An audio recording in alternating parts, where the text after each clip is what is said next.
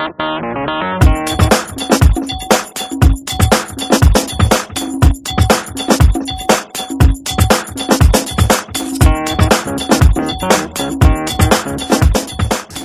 I, I- know that John Baird made a mistake. Did he, did he, I mean, He distracted. you know, I, I, don't, I don't know why he called the Arabian, Arabic Gulf, Arabian Gulf, the referred to as Persian Gulf. You know, it, makes no sense to me. You know, historically, it was always, always the Persian Gulf. It, Did you uh, ever question him? Did I questioned him. I said, he, he just said, he just shrugged his shoulders. Said, you know, maybe I, I don't know my, my geography, but I said it's not so much geography. It has to do with national pride, national heritage. You know, it's like calling, um, I don't know, calling Quebec a, a free country. know. Exactly. So, um, but what you know, what now now we know what the, the issue is. How how do you how do you want what what what what kind of thing are you looking for? What do you want me to to do? To do? I mean, did, did he? I, I think he made he, he did he do a um, a statement to to, make Well, I think he, he took an opportunity of Nowruz to sell to sort of. Uh, Yeah, that's uh, right, he- that's right, Yeah, he and message, uh, yeah. he went all the way out of his way to actually congratulate people from from the uh, uh, Persian Gulf area who don't even celebrate Nowruz. I'm sorry, this was not meant to happen. I forgot to put my mobile on. Okay. Yeah, that's right. I, I, remember, I remember that statement because I, I saw it. Um, and I said, okay, he, he made an apology. And um, It's not an apology. No, he didn't.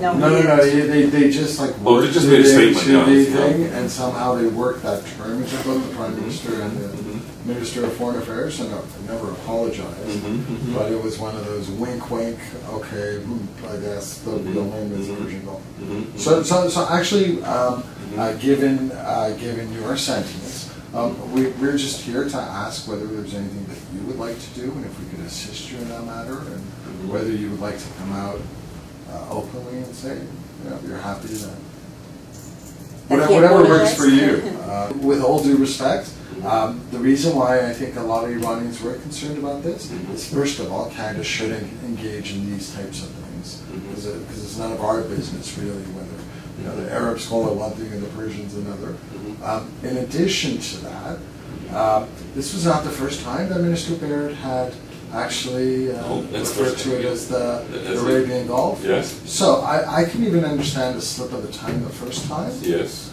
But to do it repeatedly, I'm sorry, that's not just not knowing your geography, Yeah, not having yeah. a memory. Yeah, frankly. yeah.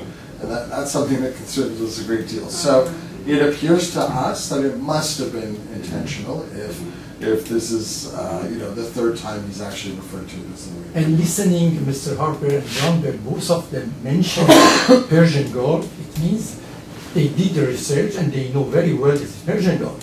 Mhm. But my question here is, if it was a mistake, why it should be resolved that way? Why so long? Two months. And I believe they were aware, we sent at least 15 letters from representative of the community, from the leaders. None of them there were answered. Mhm. And for me, uh, reacting toward a mistake done by them and resolving it this Well- way is a little Me, I, I, I'm just suggesting, although I don't know what this is the case or not, it's, it's a way to provoke the government of Iran. Exactly. Yeah, it's not, it's not designed to, to, to malign or to be disrespectful to the Iranian Canadians. You know, I mean, but as you know, there, there are a few countries that we treat as, as, as, as enemies of, of, of freedom and, and democracy in, in Iran, uh, North Korea, uh, maybe Palestine because of, uh, well, not so much Palestinians, but, you know, Hezbollah and Hamas and, uh, and other terrorist organizations like Al Qaeda. You know, sometimes they, they do these things to, to, to provoke a reaction. I, I don't think it was deliberate. I mean, I, they didn't think that the reaction was going to be so, so strong coming And from the this is the other point that we mentioned in our letter. We have this impression that uh, conservative government, Mhm. they don't differentiate between Iranian regime, Iranian government, Mhm. and the people of Iran. people. And also, not only there, Mhm. even here, it means there is, my impression that there is no respect for the 200,000 Iranian that they are living here. Mhm. And also when I see, for example, we send letter to uh, four uh, conservative MPs, Mhm. none of them answer. Mhm. I have to meet you at the uh, Charshambe Suri, the That's fire. not true. I did, I did respond. He said you have to make an appointment with my staff to know when No, I'm I'm there. sorry, I didn't receive. If I did, I didn't see you at the uh, fire ceremony. I couldn't have this uh, meeting. And it's not only you, none of them. And the only one who answered us, it was Joe Daniel, that the way that he received us, it was, I believe it was not fair and it was humiliating. In total, I can say that the community, we are here and we represent our individuals. We are not representing the community, but what we are saying is exactly what the community think. Mhm. We have this impression that conservatives, they are not very friendly toward our community, even here. You're not uh, uh, talking about the regime or Iranian people. Mhm, mhm. So, so, Well, so all know, that maybe that's your impression. Uh, And I Yeah. completely understand, you're, you're now saying that was uh, directed at the Iranian government, but, but as Mr. Shams was saying, you, you, you know, you have to make a distinction between Iranians here and, and, and the government in But, but we do. You have to even, I, I would even take it one step further, uh, you also have to make a distinction between Iranians living in Iran and the government in Yes, Iran as well. do, I mean, And, and this is uh, one of the lessons to be learned for the rest of the world. If I may add 2009. just one, I'm sorry Yeah. before you, if I may just add one thing to that, is that I would go a step further and say that the government of Canada has to uh, pay attention and, and respect uh, and differentiate between the sovereignty of Iran and the regime of Iran. Because there is under no circumstances that the sovereignty of Iran is, is, should be under question. Mhm. That, that as we are Canadians and we're, we're proud to be, well, I, I'm not yet, but, but, but we, we are very happy and very proud to be here and part of this country and this community, but then we are Iranians too. Mhm. And, and the sovereignty of Iran is, uh, is extremely important to us. So I think this is where the Canadian government doesn't realize that playing politics is fine. You, Mhm. Every government plays politics, Mhm. but, but it should be kept as, as, a, as, as a means of politics. But it, it should not go beyond that. That, that it is not becoming of the government of a, of a first world country to um, decide that let's today call Japan Malaysia. Mhm. Um, it, it, it is actually um, it, it ridicules that government, Mhm. and I'm I'm shocked that people like yourself and the conservative ministers and all that and the MPs Mhm. have not taken a strong stand against him to say that how could you do this? That we have respect in the in the in the world community, and how could you how could you do this? How could you call um, France uh, Algeria? It's as simple as that. That, that he's playing with the with the sovereignty of a country, Mhm. and just because he thinks it's funny that let's let's tickle the Iranian regime, and, and we as a community here, honestly, we are fed up with the, all this tickling which is going on because. Um, one day we wake up and we find out that we no longer have our, have our bank accounts with TD, and middle of the night, 11 at night, we receive phone calls saying that come and take your account, we, we've closed down your account, here's a letter, and, and we only honor your um, mortgages till the term ends. Mhm. Why are you playing with our lives as if none of us are, are mat- wh- Why did you allow immigration to Iranians as if you're treating us like second class citizens? We are here because we want to be here. And we want to be Canadians and we want to be proud Canadians. But it doesn't mean that we have to be punished for, for, uh, for what a regime might be doing, uh, you, you know? I, I think that is the most difficult thing for us to do. You know, we, we took a very principled position in where we stand with respect to the existence or the right to statehood for Israel, and therefore any country that seems to oppose to that, you know, becomes on the opposite side of us. But it doesn't mean that we don't respect what Iranians, uh, uh, know, Iranian uh, you know, refugees or whatever here. I mean, we stand up for uh, Mrs. Kazemi, the one, the journalist that was uh, murdered. You You know- the conservative government wasn't in power when the Kazan incident happened. And, and Well- truth be told, the liberals actually took a very strong stand Yeah, on that okay. issue.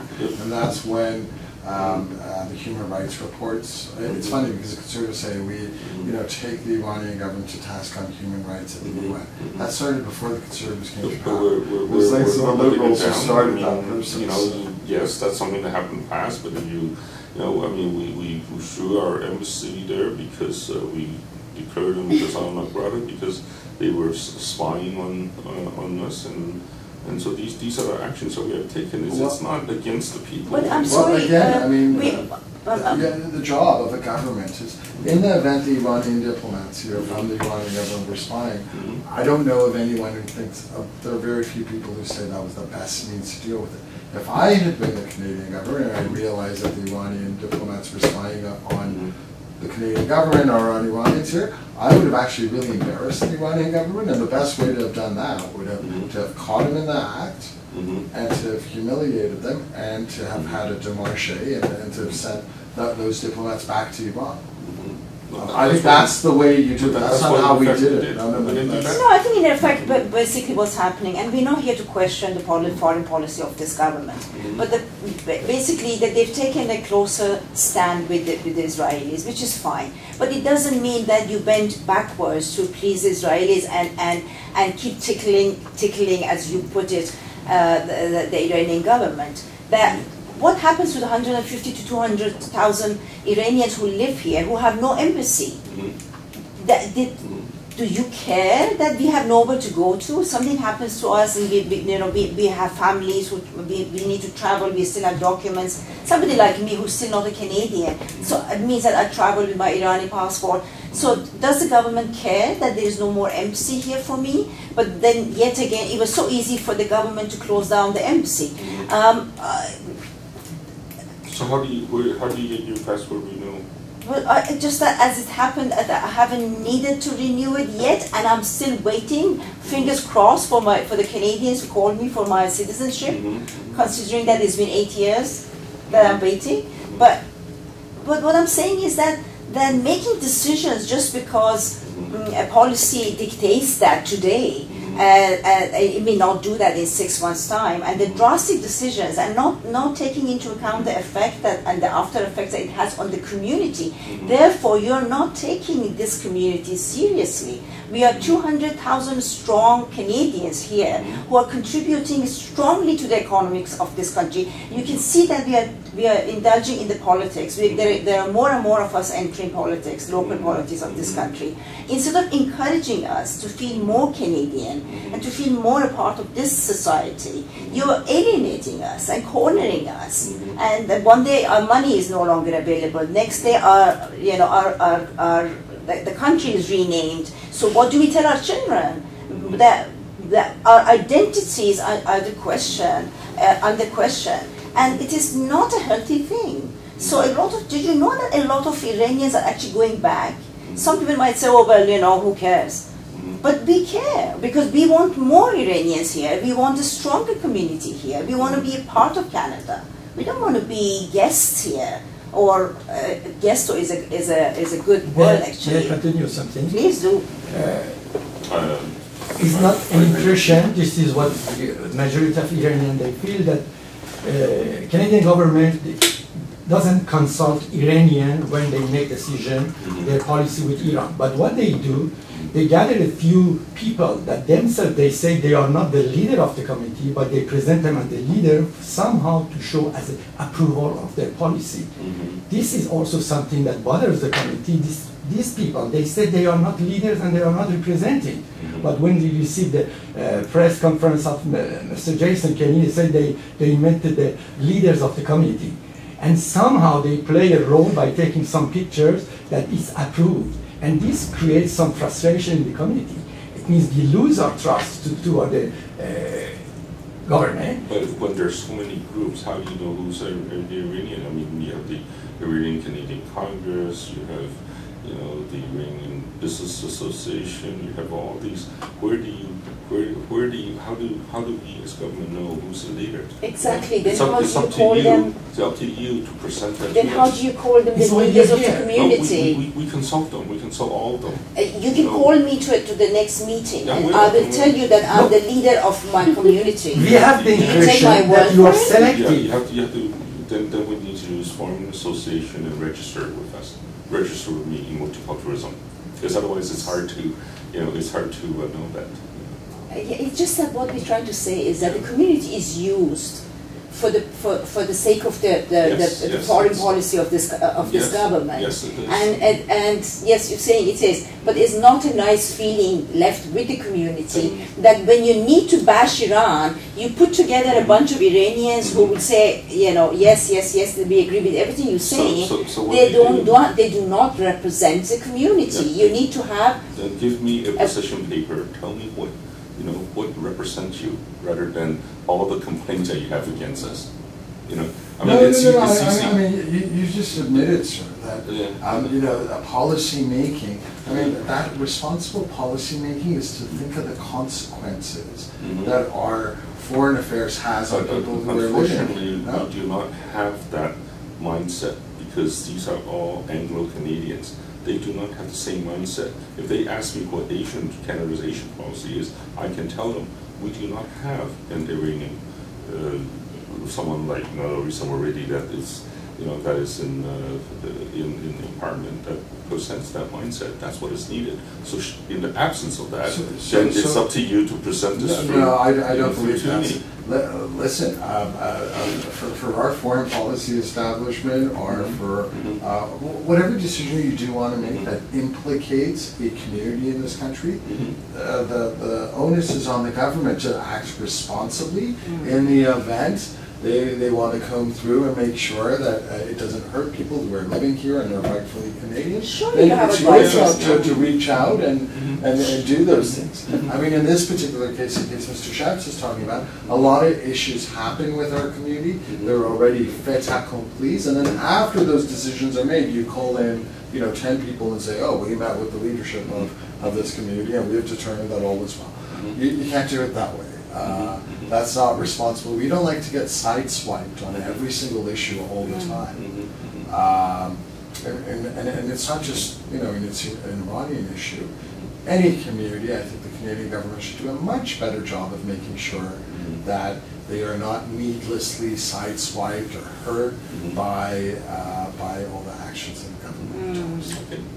Well, all, all I can, I said I'm not an expert on Iran. I think sometimes I do have better knowledge than my colleagues, but uh, all I can say is that, you know, uh, unfortunately, I'm not in that foreign affairs uh, Sure. department, so I, I can't do that. I can only give them the guidance from the multiculturalism side. Sure. And, um, and of course, it's my interest to make sure that, you know, in respecting the diversity of our community, you know, I know that you've met with me, then you will be registered with my staff, and uh, if there's something that concerns the, um, the community. I mean, I mean, we've, you know, uh, what I keep telling them all the time is that we are now past the stage of just appearing at a Nowruz celebration or at a, or appearing at a, you know, some sort of summer barbecue, and, and that's multicultural. That is not multicultural. Multiculturalism is beyond that. We have to deal with, you know, the, the, the global community and how we react in trade, in commerce, in culture. In, Exactly. and one of the things that I that I say to them all the time is that you know we have a resource in Canada